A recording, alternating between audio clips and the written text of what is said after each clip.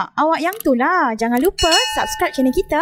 Tanda sokongan. Terima kasih. Assalamualaikum and hi everyone. Welcome back to my channel. Jika anda pertama kali hadir, selamat datang saya ucapkan. Tapi jika anda pernah hadir dan kembali semula, terima kasih kerana sudi kembali.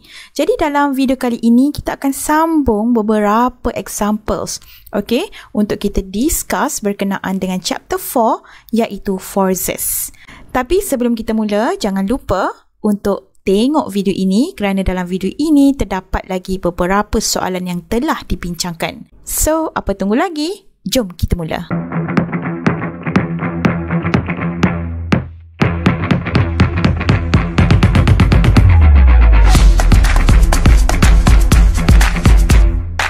Okay, question number 6. So here we have 0.4 kg block being pushed against a rough vertical wall. So rough vertical wall means that we have frictional force, okay, on the wall, okay, at angle of 45 degree as shown in the figure.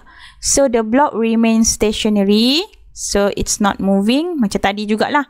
Kalau kita tak tahan dia dengan force F ini, what happen? Dia mungkin akan jatuh ke bawah kan? So we put an external force F untuk kita kasih dia remain stationary. Okay, means that total fx equal to 0, total fy equal to 0. Okay, so sketch a free body diagram of all forces acting on the block. Okay, ha, ini kalau tersilap boleh jadi salah. Okay, jangan hafal yang normal force always upward. Tengok diagram, dia punya contact surface dia dekat mana. Okay, so means that weight exactly downward. Normal force, okay, so dia ada contact dengan wall, so normal force should be to the left in this direction. Lepas tu frictional force kat mana? Direction dia. Okay. Just imagine kalau kita tak uh, push the object with an external force F tadi. So object tu dia akan sliding downward. Betul tak? Okay. Uh, tapi sebab kita dah tolak dia tadi. So means that kita cuba tahan dia. Jadi kalau kita tak tahan dia, dia akan bergerak ke bawah. Means that the frictional force should be opposite direction macam ini. Okey? Ha, ini kena tengok. Kalau nak tahu frictional force direction dia ke mana, just imagine. Kalau you tak tahan objek tu, dia akan bergerak ke mana? Dia akan bergerak ke bawah. So, frictional force must be opposite direction, so dia ke atas. Okey, kalau saya lukis free body diagram saya. Okey? So, saya ada Y. Ini masalah saya lah ni. Ha. Okey, tak lurus. X and y component. So now, frictional force upward, weight downward, kan? Ha, sebenarnya frictional force ni dia akan against the direction of W lah. Sebab kalau kita tak tahan kotak tu, okay, weight dia yang akan menyebabkan dia jatuh ke bawah. So kita ada frictional force opposite direction, so the direction is upward. So normal in this direction. And then kita punya F. Okay, Ingat eh, free body diagram mesti mula dengan tail of the arrow. So, this is the tail of the arrow. So, kalau awak nak tahu ha, macam mana nak lukis, so dia akan jadi macam ni lah. So, ini akan jadi 45 degree. So, saya akan pindah dekat sini guna color merah. F1. Saya letak eh. Sebab saya ada satu saja external force. So, 45 degree. Boleh eh. Ha, ni matematik ni. Kalau atas 45 degree kat sini. Jangan eh, kuningkan dia. Kalau kat sini tadi 45 degree. Ha, yang selang-seli eh, sudut berselang-seli. Ha, okay, 45 degree. so now kita dah finish lah sketch the free body diagram. Okay, dah settle. So now we want to calculate what is the magnitude of F if the coefficient of static friction. So given that mu s 0.2. Okay. So let's start with equation. Okay, so we can write total F x equal to 0, total fy equal to 0. Okay, kita boleh tulis dulu macam ini. Very simple. So, total fx, okay, since f1 kita ada angle, we need to resolve first f1.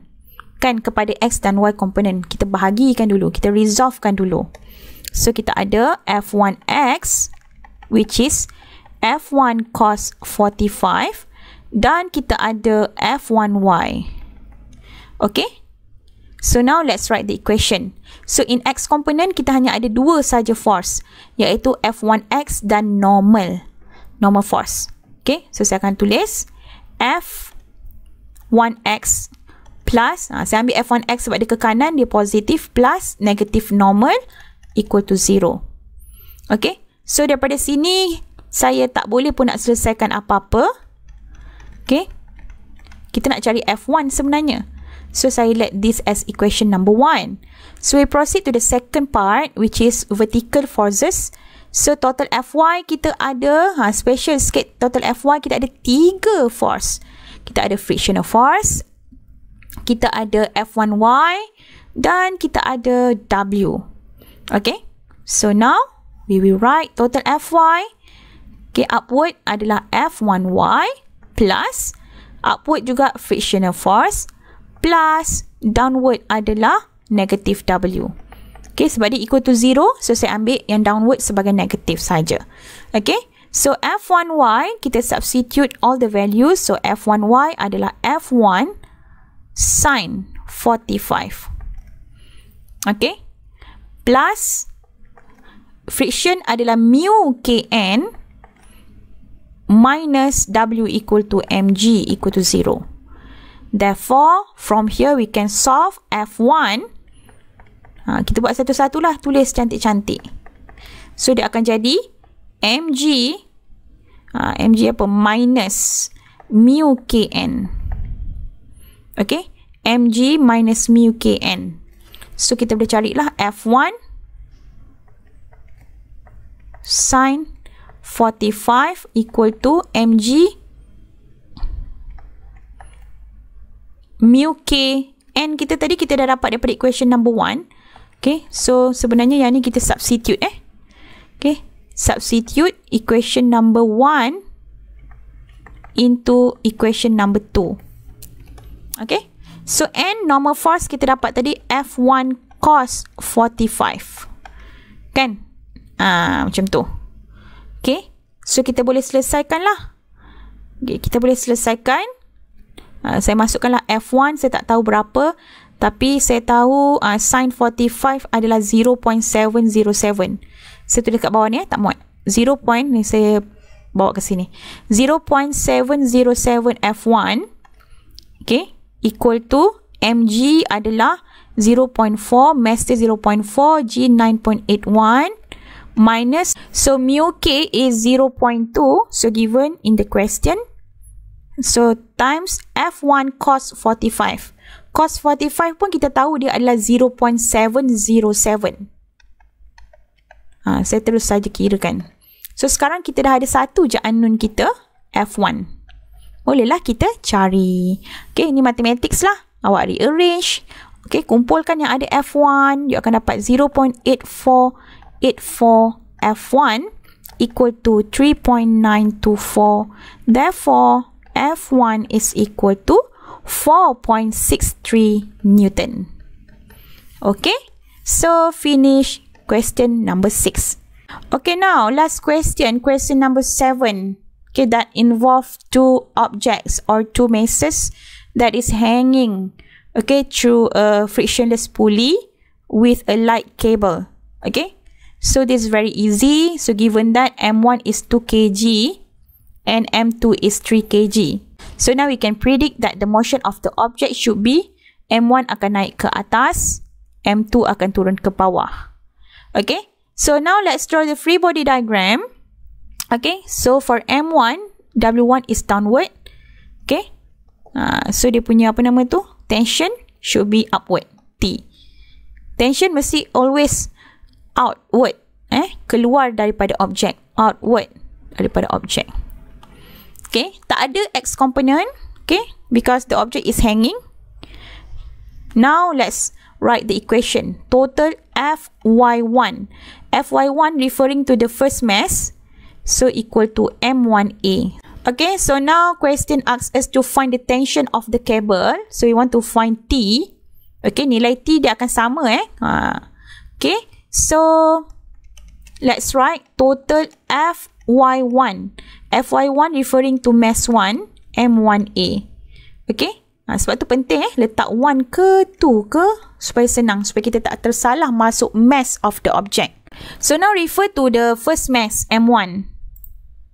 Okay, nak tulis equation total force in Y component memang ada dua saja T dan W1. Cuma siapa yang positif, siapa yang negatif, please refer to the direction of A. Okay, so maknanya objek M1 ni dia akan bergerak ke atas. So saya akan consider T as positive value. Jadi itu lebih mudah okay, untuk guide awak. So T same direction dengan A. So dia akan jadi T plus negative W1. Okay, so T plus negative W1 equal to M1A. So kita boleh uh, rearrange lah. Okay, so kita akan dapat T equal to M1A plus M1G. So since question B pun suruh cari acceleration, so we cannot solve for this equation. Sebab kita nak cari T. Kita ada M1 tapi kita tak ada acceleration. Okay? So we need another equation. Okay? So kita biarkan ini equation number 1. So now for the second equations, kita boleh dapat daripada mass yang kedua. Fy2 equal to M2A. Okay? 2. So now refer to the diagram. So ini adalah mass 2 antara T dengan W2 which force that has the same direction with the A. So mestilah W2. So saya akan ambil W2 plus negative T. So W2, sorry. So W2 plus, since W2 is same direction with A, so W2 would be positive. Okey, dia akan jadi macam ini. So, expand the equation. So, saya akan dapat A is equal to M2G minus T over M2. So, this is my second equation. Okay. So, now let's substitute equation number 2 into equation number 1. So, kita nak cari dulu tension. Okay. So, tension is equal to M1A. So, A tu kita dah boleh gantikan lah. Okay. Plus M1G. Okay, ha, nampak macam banyak tingkat kan? Okay, don't worry. Selesaikan satu-satu. M1 is 2 kg. M2 is 3 kg times 9.81 minus T over 3 plus 2 times 9.81. Saya tak muat eh. Saya letak kat sebelah.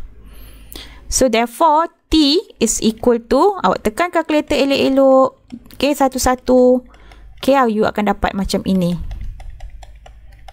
Okay, ha, saya laju sikit lah. Okay, nanti video ni jadi terlalu panjang dah. Equal to 39.24.